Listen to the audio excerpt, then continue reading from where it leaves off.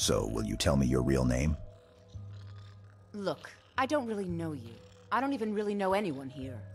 Why do you care anyway? It's not like we're family. This is a business. Something had to make you this angry. Look, you want to know about me? All right, I'll tell you. I'll tell you about the time I was a young girl, barely out of her teens, living on a pig farm in the middle of nowhere. Didn't have a coin to spend between our entire family. Ate the same slop we fed our livestock.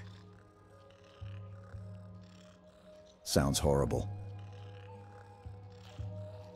Oh, wait. It gets much better. How about the fact that our farm was attacked by bandits, and that they killed my entire family, who didn't even brandish a weapon against them? Here's the best part. They took me as a prize and violated me for a fortnight. Tossed me from bandit to bandit like... like...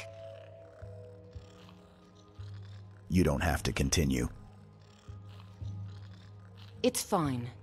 I had to tell someone, I suppose. Carrying around a weight like that, it hurts after a while. Cuts you inside like a dagger to the heart. How did you escape? Over time, I managed to gain their confidence. Then one night I grabbed a knife, waited until they fell asleep, and cut their throats. I never returned to that pig farm, you know.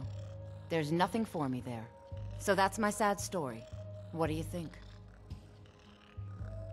You still never told me your real name. Maybe one day. Just not today. Maybe I'll see you around the guild.